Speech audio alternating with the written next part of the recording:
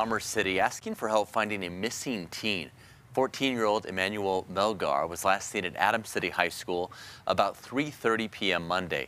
Uh, he has Asperger's syndrome. He's 5'8", 180 pounds with brown hair, brown eyes, wears glasses. So police asking if you have seen him or know anything, please give them a call.